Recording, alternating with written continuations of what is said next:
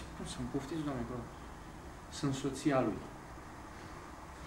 Și în 5 minute, doamna asta i-aș fi pus-o la NATO, la ONU, la Bruxelles. 5 minute! Să le vorbească cum a vorbit. Ce conferință da în Puri? Scrum.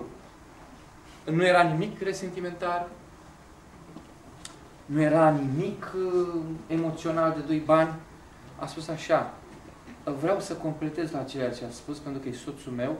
Uh, el a ieșit din pușcărie, adică a fost arestat pentru că mm, a doua oară în pușcărie pentru că a reținut pe din afară toată poeziile lui Radu Gir 300, vă dați seama ce creier. Ca un simplu tehnician. 300, eu n-am știut de caietele astea și m-au arestat că au zis că am tăinuit, dar n-am știut niciodată. Că n-a vrut săracul să mă bage în pușcărie și mi-a zis.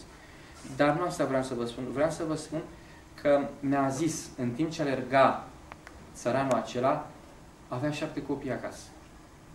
Și striga numele lor. Vă mulțumesc. Și atunci cunoașterea, zice Sfântul Răsăritean, depășește rațiunea. Intră din inimă în cap și nu se mai știe unde. Asta este cunoașterea de tip tainic. Și atunci se fac sinapse cu memorii care te trăiesc și te verticalizează. Nu te blăgesc. Te verticalizează. Fiți foarte atenți. Că ne apropiem de altă formă de cunoaștere. Și am spus, băi fraților, apusul a fost terorizat de principiul clarificării. Ervin Panoschi, un mare estetician, specialist în, în catedrale gotice, spunea așa, evul mediu, habitatul mental al evului mediu este obsedat în secolul XVI în clarificare. Credința se clarifică prin rațiune. Rațiunea prin artă, arta prin imagini și imaginea prin simțire. Și vine Toma D'Achino și spune, da, dar și simțirea este o forță cognitivă.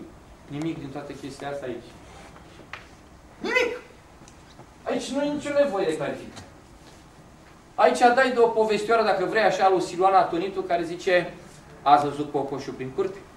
Care face așa? Cu cele cinci găini? Ăla este omul rațional. Ăla care zice că lumea sunt cele cinci găini și merge așa. Ca Mitrea la Senat, ați văzut cum Guvernul și ordonanța de urgență, ați înțeles? Trevedie la picioarele lui. Altceva important. Uitați-vă că din asta cunoști. Uh, și crima și tot. Cocoșul care face așa. Și deasupra e vântul care dă rătocoare și de munți, cer și ăla e omul duhovnicesc. Atât zice Simon atunci. Niciodată omul duhovnicesc n-a împiedicat sau a pus o frână cunoaștere științifice. Nu vă spun că aici au fost oameni arși pe lucru. Nu vă spun că în partea asta nici nu s-a întâmplat așa. O să zice, domnule, dar știința a evoluat fantastic. Da, domnule, categoric a evoluat de la șutul ăsta în fund și la cenzură și de la fapt. Dar vecinătatea pe care am avut-o noi, nu au avut-o ei. Ei s-au gândit veri nepoți. Aici veneau 600 de ani, domnule, au căsăpit, au... Știți ce mult contează învecinare? Grozav lucru, relațiile dintre oameni.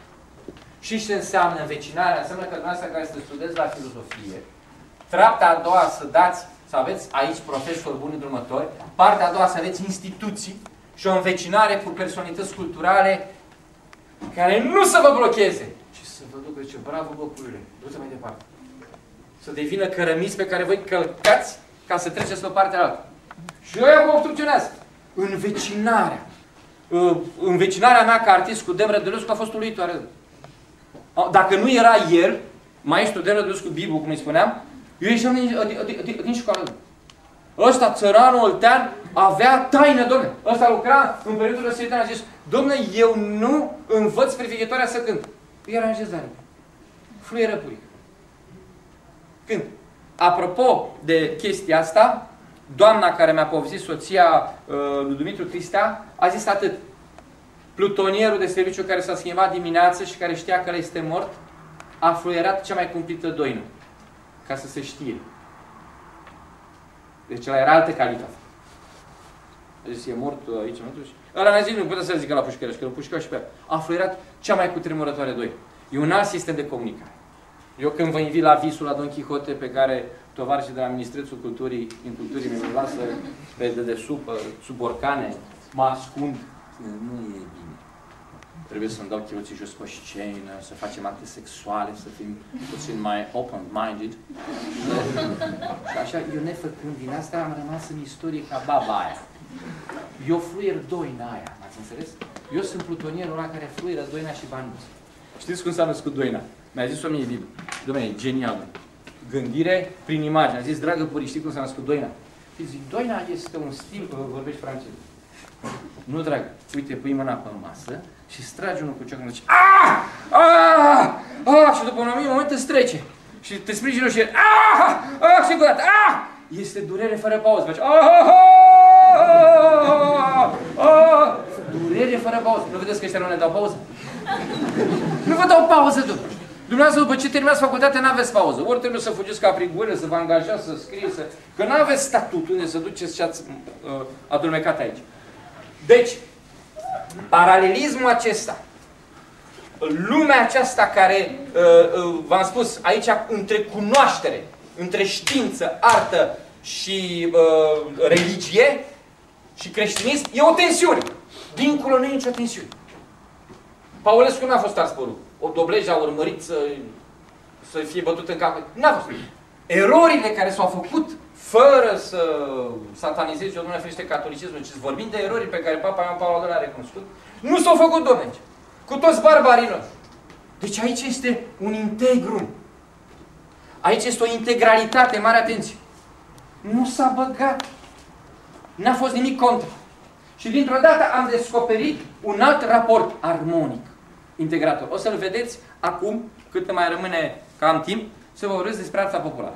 Și acum o să scurtăm, nu o să scurtăm, esențializăm ca să ne apropiem și până să avem discuții.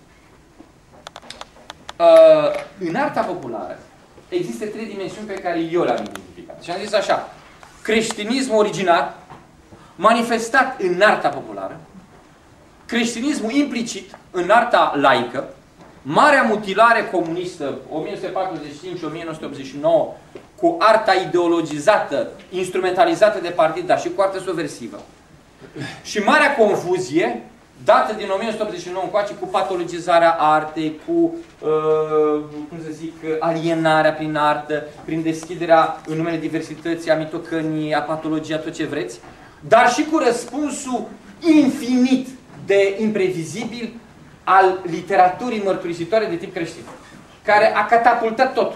Pensionarii care au început să scrie, fără să aibă studii. Ei au început să mărturisească. Aia este arta mărturisitoare cea mai puternică. Trecând prin aceste patru etape pe care le-am făcut, am să vă spun uh, următorul lucru. Simeon Hedinț vorbește de poporul român cum a fost el văzut înainte de creștinare. Și zice, Doamne, le dă clar, când a venit Strabo aici, grecul, a zis, ăștia se știu nemuritori. Când a venit Pomponius Mela, mare geograf roman, a spus două lucruri despre populația care a găsit-o aici. Ad mortem paratissimi, care înseamnă grabnic spre moarte, și apetitus mortis, chiar cu dorința de a muri. Dar nu era o dorință sinucigașă de tip kamikaze, ci era această poziție, un pas spre lumea cealaltă, un pas aici, care o să-l vedeți dumneavoastră cum se dezvoltă și care de fapt ne conțin. Indiferent. A, nu vorbesc de stripiturile astea de populație care cu vilă, cu mai știu ce și este nemuritori. Eu vorbesc de esența română adevărat. Fiecare din noi știm că nu trebuie să ne creștem foarte tare de materia asta, că e intrigătoare, nu e veacă. Este un pas așa. Eminescu culege unul dintre cele mai frumoase versuri în care suferința uh, devine instrument de cunoaștere în sensul Sfinților Părinți, cum v-am zis, și zice așa uh, poetul popular, suferă și pătimește și îi să auzi iarba cum crește. Iarba nu se aude, iarba se vede. Dar când suferi și pătimești, ci se dă o altă privire. Zice Dionisie Areopagitu, ochi deasupra fii, coboară Duh, ai har. Când sufletul este deschis spre Dumnezeu, lucrurile se transfigurează încet, încet, încet, încet. Uitați-vă la oamenii care au suferit și care sunt marcați de Dumnezeu. Văd altfel lucruri, că alții care au suferit și nu sunt marcați de Dumnezeu sunt mai fiari. Uh, Michelangelo are un sonet teribil, zice Suferința pe omul bun îl